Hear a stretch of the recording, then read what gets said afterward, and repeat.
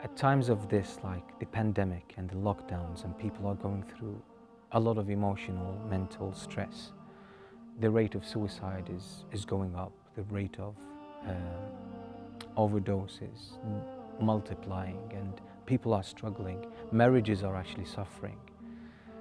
At these times, definitely the Quran is the, is the book to turn to.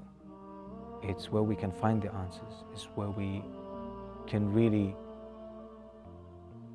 find light in the midst of this darkness.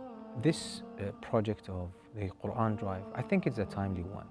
And uh, this goal of a million copies of the Quran translated, the meanings of the Quran translated into English and uh, being distributed and being handed to people, people who are likely to benefit from it.